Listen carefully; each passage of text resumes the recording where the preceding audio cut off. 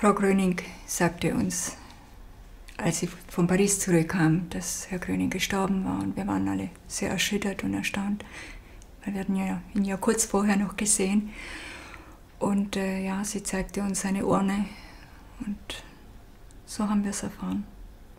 Und äh, wie gesagt, Weihnachten waren wir noch zusammen.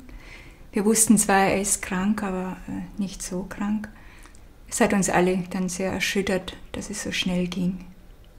Und im Januar starb er ja dann.